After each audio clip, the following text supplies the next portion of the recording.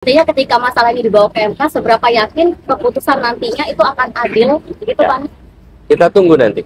Yang jelas bagi kami sekarang, kami ingin agar semua informasi yang terkumpul terverifikasi, solid, dan kami minta kepada semua jajaran aparat kita, jangan ada yang mengintimidasi mereka-mereka yang mau bersaksi.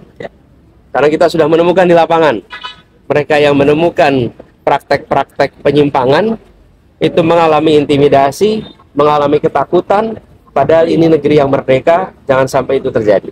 Kami berharap pertolongan Allah Subhanahu wa taala, pertolongan Tuhan yang Maha Kuasa.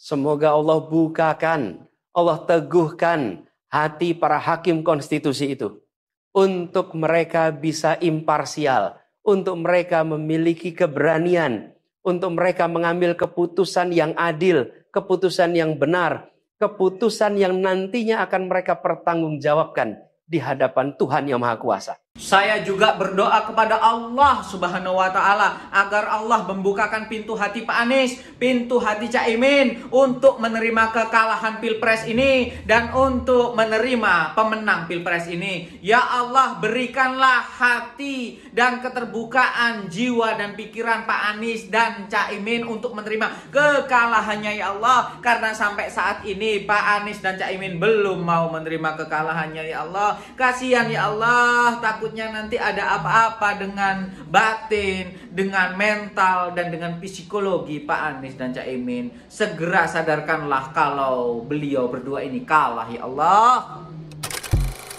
Iya guys, meskipun KPU sudah resmi mengumumkan hasil pemilu 2024 ini dan kemudian menetapkan pasangan Prabowo Gibran sebagai presiden dan wakil presiden terpilih guys.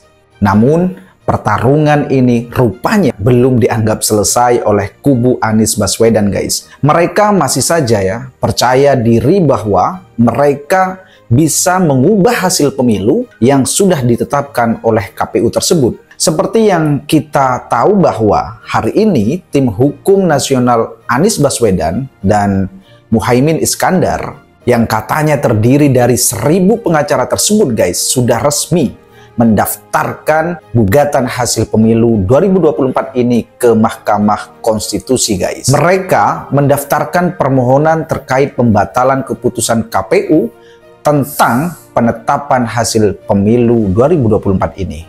Dan seperti yang sudah saya katakan tadi bahwa kubu Anies ini guys sangat yakin bahwa mereka bisa membuktikan pemilu ini penuh dengan kecurangan, penuh dengan tekanan, dan penuh dengan intervensi yang katanya dilakukan oleh pemerintah. Tapi menariknya guys, langkah yang diambil oleh kubu Anies Baswedan tersebut ya, itu bertolak belakang dengan sikap Partai Nasdem di mana Partai Nasdem melalui ketua umumnya yaitu Surya Paloh secara tegas dan terbuka telah menerima hasil perhitungan suara pemilu 2024 yang dilakukan oleh KPU tersebut.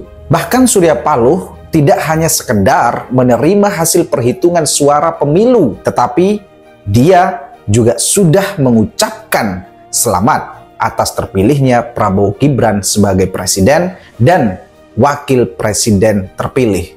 Dan atas sikap Surya Paloh publik menjadi bertanya-tanya, ini apa sebenarnya alasan Surya Paloh lebih memilih menerima daripada mendukung sikap politik Anies Baswedan? Padahal kita tahu ya bahwa Partai Nasdem adalah salah satu partai utama yang mengusung Anies Baswedan menjadi calon presiden. Oke guys, mungkin melalui video ini kalian akan mendapatkan jawabannya dan menurut saya ini penjelasan yang sangat masuk akal. Bang Surya Paloh kalau saya sih gak heran. Memang Nggak beliau ya, ini memang- beliau ini orang yang satu sebetulnya sangat mengacu kepada data. Iya, ya. Jadi kalau kalau sangat rasional, jadi datanya kalau sudah muncul dari instrumen-instrumen yang yang kita sebut tadi dari survei, dari quick count, dari exit poll, eh, itu instrumen-instrumen yang sudah beliau pegang betul karena memang sebenarnya tapi ini nggak nggak mengherankan. Saya kemarin ketemu dengan salah seorang mantan wartawan di Metro TV. Oh. eh, dulu tahun 2000, 2004 Pilpres 2024 dia bertugas di daerah, Oh. lalu kemudian dipanggil ke Jakarta eh, mendengarkan penjelasan dan rencana pelaksanaan quick count pertama ya Oh. dalam Pilpres Iya. Indonesia tahun 2004 itu beliau eh, ikut mendengarkan dan ketika jadi beliau tahu apa itu eh, quick count, Quick count. secara Ya, ya, ya. konsep secara ilmiah Ya, ya, ya. lalu quick count dilaksanakan eh, di Metro TV pada waktu itu Pertama Pilpres kali ya. pertama kali dan hasilnya akurat Akurat gitu. ya.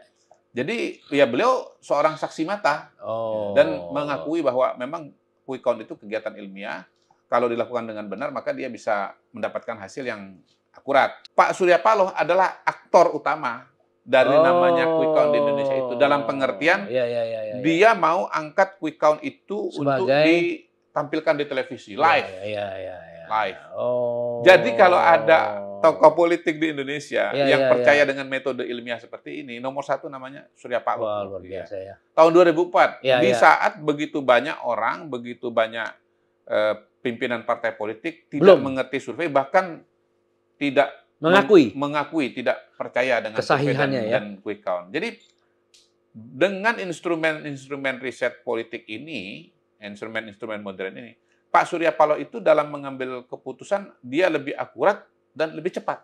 Oh. iya. Jadi iya, misalnya ya tidak harus nunggu quick count, dia cukup dengan exit poll, dia sudah tahu siapa yang menang. Iya, iya. Nah, karena dia sudah tahu siapa yang menang, dia sudah bisa melakukan langkah politik. Oh, makanya dia langsung ketemu ya. Iya. Iya, iya. dengan Pak- Tapi sebelum pertemuan itu beliau sudah tahu duluan. Iya, iya, iya, Oh, iya, oh. karena dia tokoh. Karena dia sudah tahu duluan, orang lain belum istilahnya mengucapkan selamat, belum membangun komunikasi, dia sudah membangun komunikasi duluan. Pantesan ya. Makanya dia menjadi Oh. orang pertama yang diterima. Ini penjelasan yang luar biasa Ah. karena banyak orang nggak ngerti. Iya, ya. Di kepalanya beliau itu sudah jelas. Oh, sangat jelas. Eh, Partai Nasdem misalnya, Ya. ketika mau mau berpartisipasi dalam pilkada, mereka memerintahkan eh, kepada pengurus eh, Nasdem untuk menyelenggarakan survei, bang. Oh. Dan keputusan keputusan mengenai calon kepala daerah yang mau diambil ya itu didasarkan kepada hasil Ya. Survei. Oh, gitu. Luar biasa. ya. Nah, makanya Partai Nasdem waktu itu berani dan bisa bilang eh, tanpa apa, tanpa mahar. Mahar, ya, ya, Iya, ya, betul, iya. betul. Ya. Memang di satu sisi kita harus akui bahwa sebagai partai politik tentu mereka mau besar. Nah, cara mereka besar adalah mereka berasosiasi dan berkolaborasi dengan tokoh-tokoh yang populer. Betul, betul. Dan ketika nanti tokoh-tokoh itu menang tentu memiliki hubungan yang baik dengan Ya. Partai Nasdem. Nah, Nah, untuk mencapai itu mereka menggunakan instrumen yang namanya survei. Iya. Jadi memang mereka nggak menekan Iya, iya, iya, calon iya, A, iya, calon B, iya, calon C. iya, iya. Pokoknya kamu harus bayar sekian baru saya kasih tiket. Iya, Enggak. Iya, iya, iya. Dia proaktif. Nah. Misalnya ada lima kandidat, Iya. gitu ya. Dia survei, Iya, iya, iya. dia lihat mana yang paling tinggi, dia bangun komunikasi. Oh. Sejauh ideologinya nggak bertentangan, dia bangun komunikasi. Iya, iya. Kalau misalnya bersepakat, itulah calon yang didukung. Wah, luar biasa. Kalau ya. calon yang surveinya paling tinggi itu tidak apa bersesuaian dengan secara komunikasi politik dengan Partai Nasdem, baru dia geser ke calon nomor dua. pop- terpopuler nomor dua. Intinya tiga nama yang paling Top berpeluang menang ya. itu Oh. dia dia dia ajak komunikasi gitu. Ya, ya. Nah dalam kasus pilpres kan sebetulnya itu yang Ya itulah guys, alasan kenapa Surya Paloh berbeda sikap dengan Anies Baswedan. Seperti yang sudah uh, kita dengar tadi dari penjelasan Kodari bahwa Surya Paloh ini adalah salah satu atau bahkan satu-satunya ketua partai politik yang sangat percaya sekali terhadap lembaga survei. Selain itu, Surya Paloh adalah orang yang selalu mengacu pada data dan selalu berpikir rasional guys dalam setiap mengambil keputusan. Sementara kita tahu guys, data yang ada dari berbagai lembaga survei, quick count dan lain sebagainya tidak memungkinkan kubu Anies bisa mengubah hasil pemilu.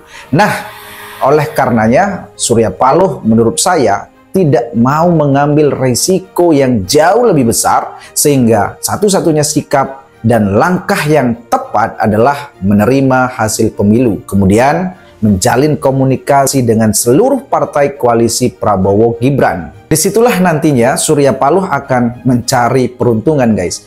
Dan siapa tahu ya, dengan bersikap seperti itu, Partai Nasdem uh, kemudian bisa diajak bergabung oleh Prabowo Gibran. Gimana guys menurut kalian? Tulis pendapat kalian di kolom komentar. Sekian dan terima kasih.